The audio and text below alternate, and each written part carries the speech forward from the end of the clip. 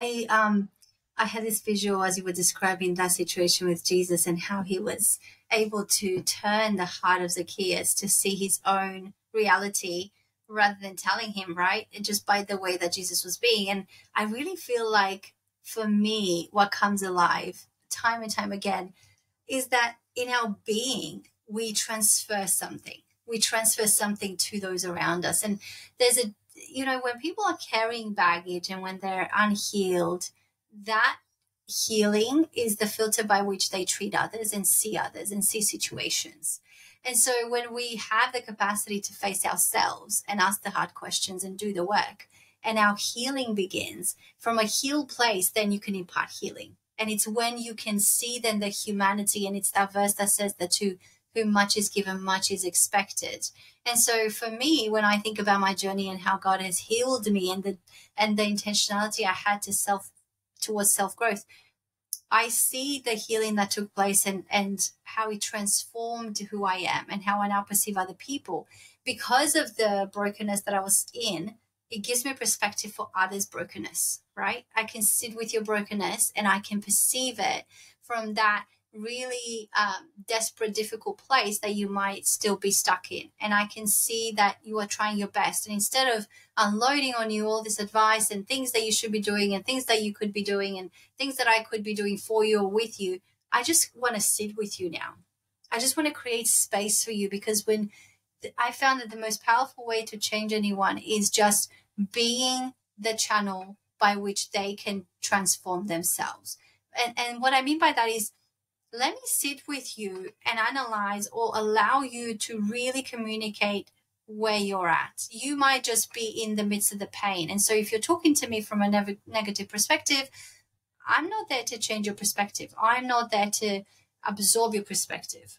I'm just there to allow space for you to hear yourself. And I think when I step back, I found this with my dad works really well is I step back and I just let him have it.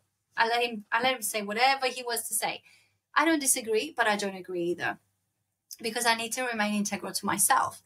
But creating the space does something magical. And so when I create the space, then I can also meet you time and time again. And as you're realizing, wait, there is no judgment and there is no condemnation. There is no trying to sell me something or trying to tell me to do this and that.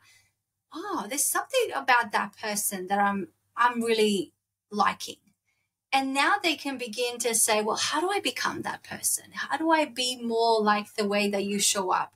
How can I be in this state of peace? Like people often ask me, like, there's just such a peace about you. Like, how do you how do you keep this peace all the time? It's like I don't have to keep it. It's my intentionality to constantly be aware of what might be taking it away.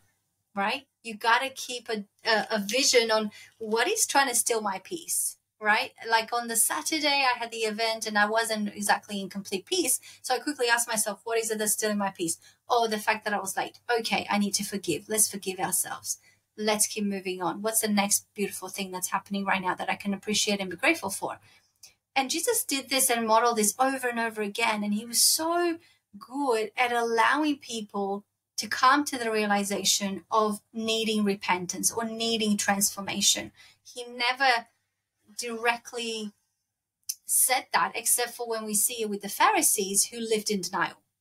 And I think there's a difference when you're intentionally living in denial, like the Pharisees who are just like, I don't want to hear it. I'm better than everybody else.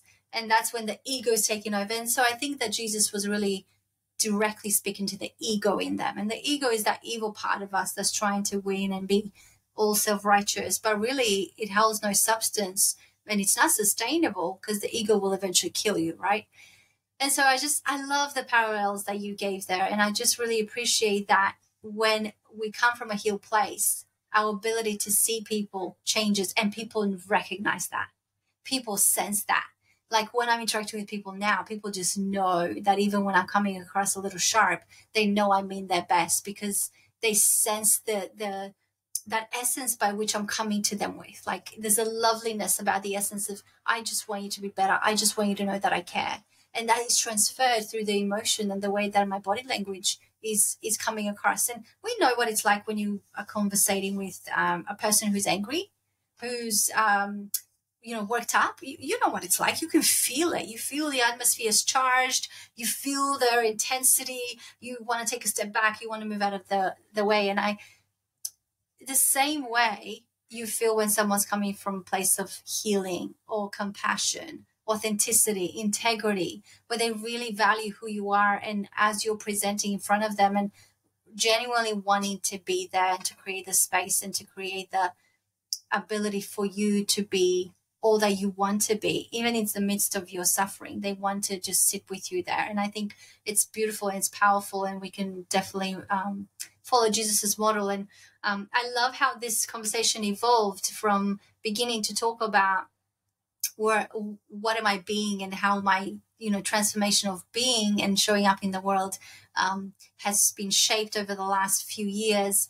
Um, and then just seeing the interaction and seeing the transference that that creates within my relationships and different dynamics. And i love the um, examples you gave. I always appreciate the visuals and i think they really speak to a lot of people because they're real life situations that we find ourselves in right? We're dealing with children. Maybe you don't have children, you're dealing with a spouse. Maybe you don't have a spouse, you're dealing with a colleague.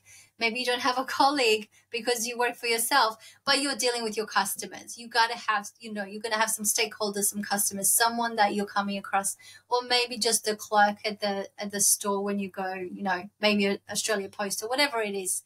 But you're always coming into relationship with other people and how that relationship evolves is really important and we are meant to be um, collaborating, right? It's it's in our nature to be collaborating and to be cultivating relationships. They enrich our lives, and research has shown that they actually help us live longer and a better quality of life. So I really appreciate the conversation that we've had, and I'm so grateful for the way that you know it evolves and uh, the nuance that it brings. Thank you.